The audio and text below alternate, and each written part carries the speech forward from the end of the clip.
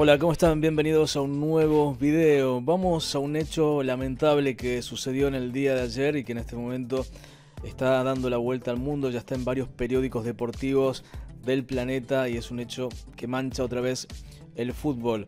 Si nos vamos a la prensa argentina, realmente están conmovidos, choqueados por esta noticia. Vamos al periódico El Día de la Plata, dice escándalo en el bosque al colombiano Rodallega le gritaron mono y negro. Esto sucedió en el partido que enfrentaron a los equipos de Gimnasia y Esgrima de la Plata, que hacía en este caso de local, frente a Independiente Santa Fe de Colombia. Estas eran las declaraciones del jugador colombiano al finalizar el partido. No mejoramos como humanidad nosotros.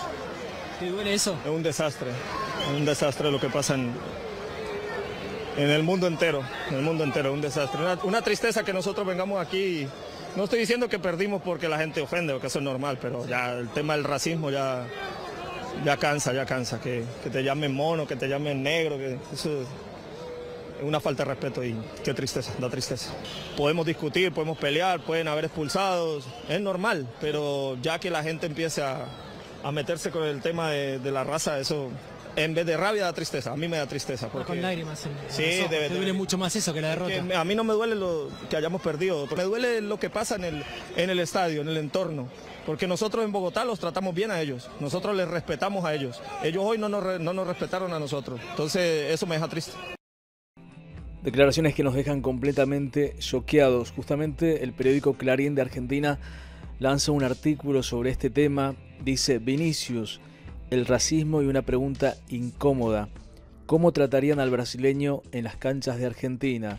La posible respuesta al interrogante llegó sola, con una situación similar sufrida por el colombiano Rodallega en La Plata. El artículo dice lo siguiente, cosas como las que se vivieron estos días con Vinicius Jr. en España sirven para reflexionar, hacerse preguntas y en este caso una pregunta incómoda. ¿Qué pasaría si el brasileño jugara en las canchas del fútbol argentino? De tan obvia, la respuesta llegó sola, por televisión y en cuestión de horas. Sucedió en el partido que enfrentaron a Gimnasia de la Plata frente a Independiente de Santa Fe. Y es que la pasión del fútbol es tan amplia y ajena a cualquier lógica que un club como Gimnasia, que puede sentir orgullo de haber tenido un hincha fanático del Lobo como el doctor René Favaloro, a la vez sienta vergüenza en estos momentos por estos energúmenos todavía no identificados que agraviaron a los jugadores colombianos. Este tipo de escenas duelen y dan bronca, pero no sorprenden, porque ya hay varios hechos del pasado que bueno, en este caso no los vamos a enumerar porque ya los conocerás que sucedieron en la Copa Libertadores.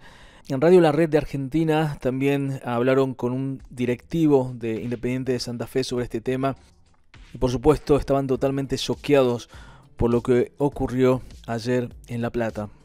Carlos, te mando un abrazo grande, Nicolás te saluda acá. Bueno, un honor escucharte, un placer tenerte con nosotros. Reiteramos eh, lo que sucedió hoy, Rodallega, jugador de Independiente Santa Fe, denunció, bueno, eh, gritos racistas de parte de alguno, de un sector, eh, pequeño pero sí sector al fin, de hincha de Gimnasia de La Plata, que bueno, le han propinado insultos racistas, los cuales obviamente repudiamos. Y Juan Carlos, bueno, preocupación, ¿no? Por esto, ¿sabes eh, cuáles serán los pasos a seguir? Si Independiente Santa Fe elevará esta denuncia que hizo Rodallega. Si se tomarán medidas, básicamente. Eh, eso te iba a acotar, que no fue toda la parcialidad de gimnasia, siempre los desadaptados que hoy tiene el fútbol. Rodallega al final lo dijo, aquí está parte de la humanidad, no es toda la humanidad, es parte de la humanidad y aquí fueron parte de los hinchas del equipo de gimnasia de Grima de la Plata.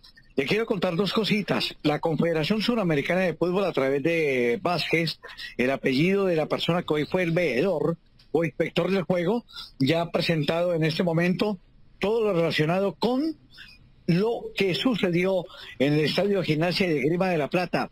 La idea eh, de la Confederación es que haya un llamado de atención y seguramente una suspensión para la plaza de gimnasia dentro de lo que tiene que ver con los partidos de la Confederación Suramericana de Fútbol, incluidos Copa Libertadores de América y en este caso la Copa Suramericana.